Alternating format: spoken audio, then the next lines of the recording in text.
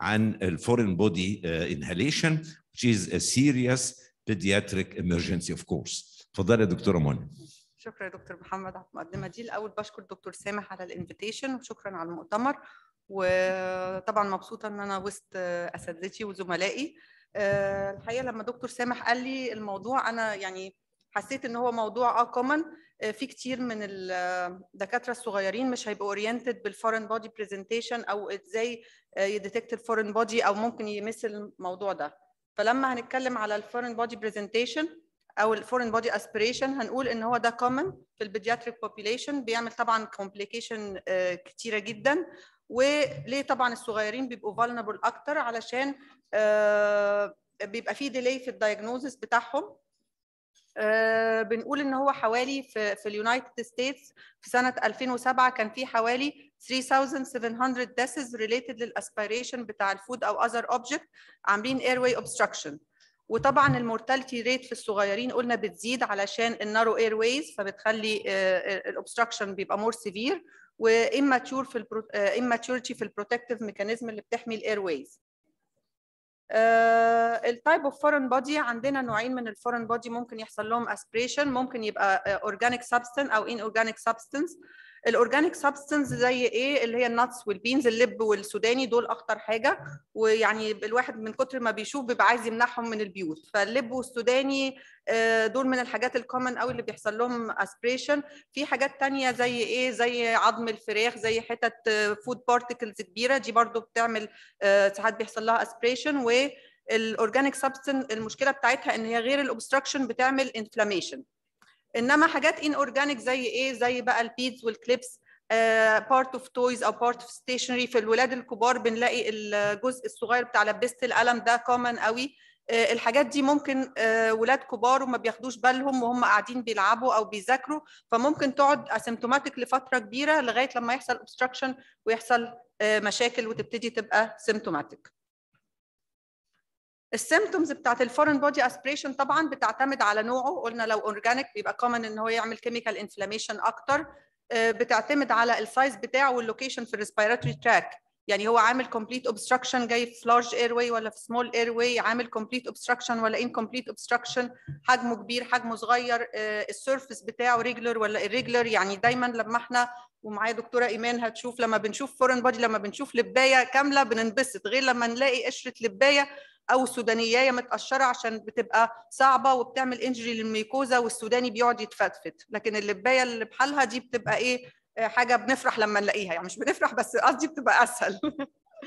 إيه وطبعا الوقت اللي بتقعده في ال في ال airways أو في ال tracheobronchial tree بيأثر طبعا لو قعدت كل ما تقعد وقت أكتر بيحصل حواليها edema و inflammation و fibrosis بتبقى صعبة قوي في ال procedures بتاعتها.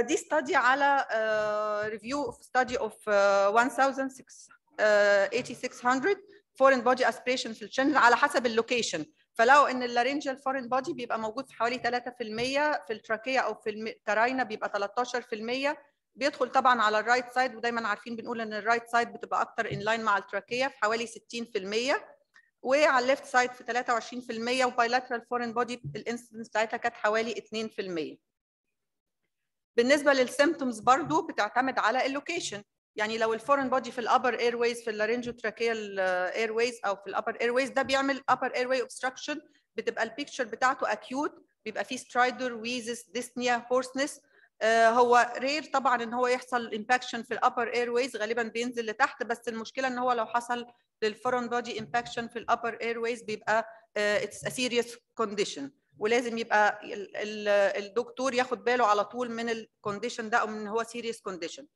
ممكن يجي فين ال foreign body ممكن يبقى في ال large bronchi ال large bronchi بتعمل بقى ال typical picture ودي ده اللي بيبقى common عندنا في ال right أو في ال left main bronchus بيبتدي ب cough wheezing hemoptysis dyspnea shortness of breath respiratory distress وطبعا بال examination بلاقي فيه إن ال air entry بيبقى unequal وبلاقي فيه diminished air entry على ناحية واحدة. يعني بلاقي ال symptoms بتاعته.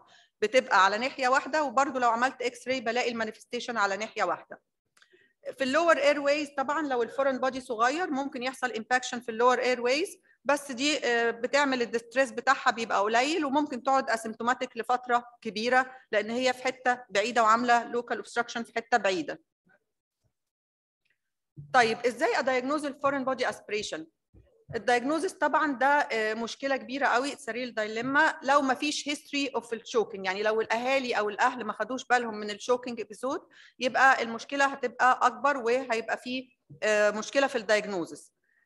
لقوا إن في diagnostic criteria بتعتمد إن أنا ألاقي اثنين من ثلاثة criteria لو لقيتهم فده ب diagnose ال foreign body ال witness طبعا أهم حاجة ال witness choking episodes إن هم الأهل شافوه وهو بيشرق تاني حاجة ال focal hyperinflation أو leukocytosis أكتر من 10000 آه قالوا إن هم لو لقينا اثنين من الثلاثه criteria دي دي in in favor of ال foreign body aspiration في another study عملت scoring system واعتمد على parameters ثانية زي الايدج بتاع العيان. قالوا إن هو common بيحصل من 10 ل 24 شهر بس طبعا بنلاقيهم في سن أكبر أو أصغر.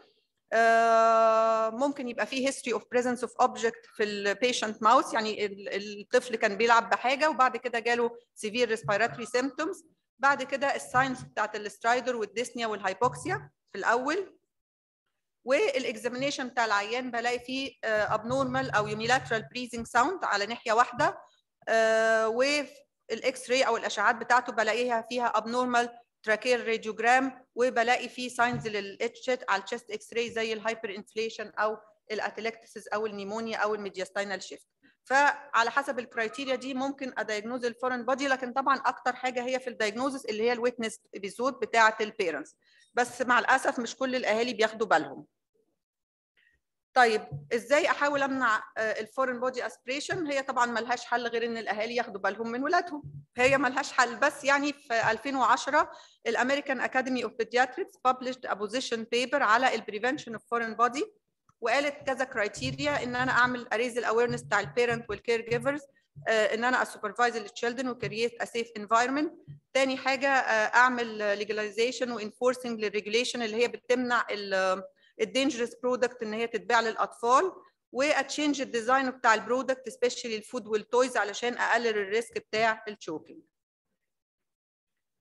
طيب حصل foreign body aspiration how to manage أول حاجة في ال management ال bronchoscopy once إن أنا I suspect ال foreign body يبقى لازم أعمل bronchoscopy ملهاش حل تاني مش هم مش ما فيش management تاني لل foreign body يعني مش هديله antibiotic مش هديله bronchodilator مش هديله أي حاجة. لازم اريموف هو دي حاجة acute دخل foreign body في ال airways لازم أشيله. فال bronchoscopy should be performed once إن أنا ا suspect ال foreign body aspiration طيب بتبقى ال dilemma عندنا rigid bronchoscopy ولا flexible bronchoscopy؟ إحنا الحمد لله دلوقتي بقينا عندنا في أبو ريش بنشتغل الاثنين إحنا ك pediatrician غير ال cardiothoracic فدي الحمد لله بقت privilege موجودة عندنا. كنا في الأول بنعتمد على ال flexible bronchoscopy بس هو آه useful وبيوصل لل small airways بس مع الأسف ال instrument أو ال tools بتاعته بتبقى difficult إن أنا أعمل بيها manipulation واقدر أشيل ال foreign body بس بيحصل وهوريكم في الحالات. آه لكن once إن أنا I diagnose ال foreign body إن أنا لازم introduce ال rigid bronchoscope علشان أعمل ريموفل فلغاية دلوقتي ما فيش agreement قوي بالنسبة للأطفال how rigid أو flexible آه بس some studies بتقول إن ال rigid أحسن أو إن أنا لازم ال better practice إن أنا أ combine ال rigid مع ال flexible bronchoscope إن أنا بعمل ال diagnosis بال flexible once diagnosed بعمل الريموفال بالريجيد برونكوسكوب التاسك فورس بتاعت ال ERS وال ATS both recommend ال rigid bronchoscope بس في studies ثانية بتتكلم على الفلكسبل برونكوسكوب از ا ميثود اوف ريموفال دي صورتين واحدة لل flexible bronchoscope واحدة لل rigid bronchoscope بال tools بتاعت ال rigid bronchoscope اللي بنعتمد عليها. هنبتدي بقى في يعني في الحالات. أنا جايبة بس ثلاث حالات من من اللي عندنا. طبعا إحنا عندنا كتير قوي. بس نشوف. أول حالة دي جانا. دي بنت عندها سنة. جالها sudden onset of choking coughing during playing بس ما كانش فيه witness لل aspiration يعني الأم ما شافتش إن هي شرقت في حاجة بس يعني ما شافتش حاجة بتبلعها بس بتقول إن هي كانت بتلعب ومرة واحدة شرقت وحصل لها aspiration على ال history ده دخلت مع ال cardiothoracic وعملت rigid bronchoscope بس ما لقوش أي foreign body والبنت بعدها تعبت ودخلت post operative ICU كانت ventilated وما بتحسنش. يعني البنت ما بتتحسنش ابتدى يحصل worsening لل condition وال manifestation أو الأشعة كلها كانت localizing على ال right side بصراحة لما قالوا لنا عليها في ال في الأشعة في ال ICU قلنا طب نديها second look باي flexible bronchoscope ونشوف يمكن نلاقي حاجة. لما عملنا second look look بال flexible bronchoscope دي الأشعة بتاعتها الأول. عملنا second look بال flexible bronchoscope لقينا في foreign body موجود ما كناش عارفين إيه ال nature بتاعه و introduce ال rigid bronchoscope وشلناه. أنا هوريكم.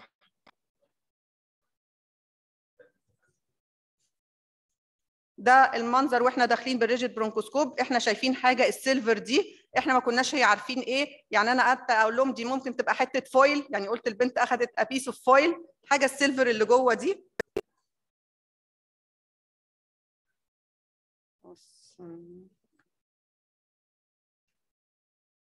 الحاجة اللي جوه دي إحنا مش عارفين هي إيه. الحاجة ال silver اللي جوه دي قلنا foil قلنا إيه وفي الآخر طلعناها طلعت حتة قماش.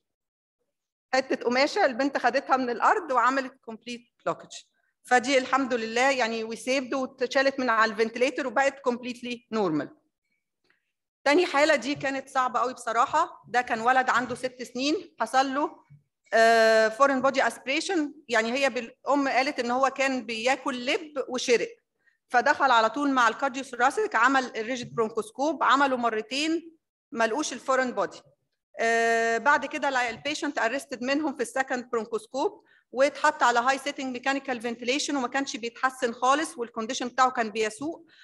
آه وال setting بتاعته كانت عالية جدا والعيان hypoxic فلدرجة إن إحنا آه دكتورة في الرعاية قالت لي طب نديله يعني هي بصت بال flexible اللي عندها في الرعاية دكتوره هبه وقالت لي أنا شايفة حاسة إن في حاجة جوه في ال airways وبس كانت المشكلة إن العيان very unstable مش قادرين نعمل له حاجة مش قادرين حتى ننقله لل operation بتاعتنا عشان نعمل له ال procedure فأخدنا permission من مديرة المستشفى ونقلنا له كل ال tools بتاعتنا ورحنا اشتغلناه في الرعاية. آه كان بصراحة صعب جدا في شغله لأن هو العيان كان desaturated كان على high setting جدا وكان ال saturation بتاعه كنا بنشتغل وال patient ال saturation بتاعه كان 50 أو 60 كنا قلقانين بس هي كانت ال last chance بتاعه. هو ما كانش له حل تاني هو كان لو سبناه هيموت هيموت. فقلنا نديله ال choice بتاعته. دي أشعاته ما كانش فيها أي حاجة وال cardiothoracic مرتين ما لقاش ال foreign body إحنا لما دخلنا بال أول بال tube. طبعا معلش ده إحنا ما عرفناش نصور ال rigid بتاعه علشان هو كان very critical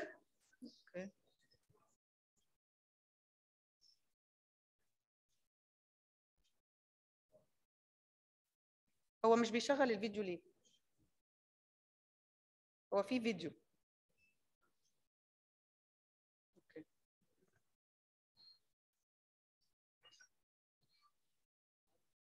إحنا دخلنا من ال endotracheal tube الأول عشان نشوف فيه إيه. okay.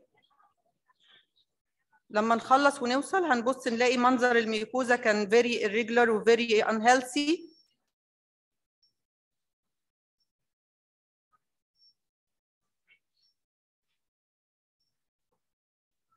إحنا لسه في ال tube. أول ما نخلص ال tube طبعا إحنا بنعرف ال tube من الخط اللبني. أول ما نخلص وندخل على ال airways هنا هنلاقي ال airways كلها distorted طبعا عامل rigid bronchoscopy مرتين.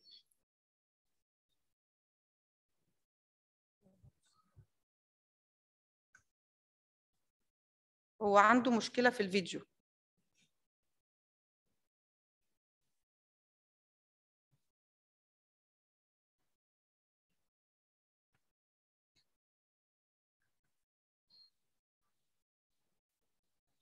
طيب أنا همشيه لكم شوية عشان الوقت. okay. تمام. هنا هنلاقي المنظر إن في obstruction في ال right وفي ال left main bronchi ده طبعا حاولنا نعمله بال rigid عملناه بس قعد معانا كذا trial عقبال ما نفع. عملناه حوالي ثلاثة trials بس الحمد لله اتشال ال foreign body اللي هو كان لبه متفتفتة على الناحيتين في ال right وفي ال left. وكان life saving ما كناش عارفين هيبقى في insult حصل neurological ولا لأ من ال hypoxia اللي حصلت للعيان طبعا. آه، بس الحمد لله العيان خرج completely normal وده يعني حاجة جميلة جدا. أنا فاكرة أول ما بعتوا لي الفيديو بتاعه دكتورة رشا جمال هي اللي بعتته لي إن العيان فاق وبيتكلم في الرعاية فكنا فرحانين جدا إن إحنا we saved العيان ده. آخر عيان معلش هطول عليكم ده لسه عاملينه الأسبوع اللي فات الأربع اللي فات ده عيان اسمه مينا عنده 11 سنة بس الولد عنده severe failure to thrive هو 6 كيلو. آه، الأم شافت ال foreign body aspiration بتاعه وهو بيبلع حاجة من الأرض وحصل cyanosis و coughing بعد كده العيان اتحط على mechanical ventilation اتنقل لمستشفى تقريبا الجلاء التعليمي. أنا كلمتني الدكتورة من مستشفى الجلاء التعليمي وقالت لي إن هو العيان عندهم على mechanical ventilation وهم طبعا ما عندهوش facilities ما عندهمش أي facilities لل bronchoscope. فبصراحة يعني قلت لها تجيبه لنا وهو كان حظه كويس إن هي كلمتني يوم الثلاث وإحنا ال list بتاعتنا يوم الأربع فجابته على طول تاني يوم. عملنا له flexible bronchoscopy لقينا ال foreign body كان موجود في ال lower trachea above ال carina كانت المشكلة بتاعتنا إن العيان حجمه صغير جدا مش معدي ال airways مش معدية ال smallest scope بتاعنا. اللي هو 3.5 مللي مش معدي خالص عشان ال airways بتاعته صغيرة. فالحقيقة عملنا كذا trial وما عرفناش خالص ندخل ال scope بتاع ال rigid bronchoscope. فاضطرينا إن إحنا نشتغل بال flexible bronchoscope بال tools بتاعتنا اللي available هنا طبعا باين هو عنده foreign body typical موجود في ال right side ولما دخلنا كان عند أول ال carina واشتغلناه بال flexible bronchoscope بيبقى صعب يعني ممكن دلوقتي لما تشوفوا الفيديو هتحسوا إن هو حاجة سهلة لكن إحنا علشان نعمل ال trial دي almost هنكون قعدنا فيها ساعتين. عشان نعرف نوصل هو هي قشرة اللباية موجودة عند ال carina محطوطة بالعرض. عشان نعرف نوصل لها لأن ال tools بتبقى صعبة. فاحنا قعدنا فيها فعلا ساعتين. حتى الأذان هيشتغل دلوقتي عشان العصر أذن علينا وإحنا شغالين. ده اسمه Dormia basket إحنا بنحاول ندخل بيه من جنب ال foreign body وبنفتحه وبنخرج وهو مفتوح. ونحاول نلفه شوية عشان نحاول نخلي ال foreign body يدخل جواه. فهي دي دي الفكرة إن هو ال foreign body كان embedded عشان هو قشرة ف embedded في ال walls فكان صعب جدا. فهو الحمد لله جه معانا بس almost بعد 2 hours.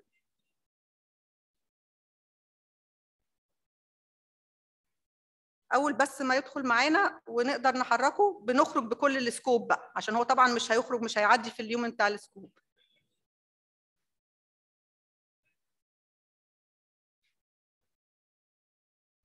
وطبعا العيان ده ده ما بقول لكم الاذان اشتغل علينا هنا في في العصر وإحنا شغالين في المنظار ده من كتر ما قعد.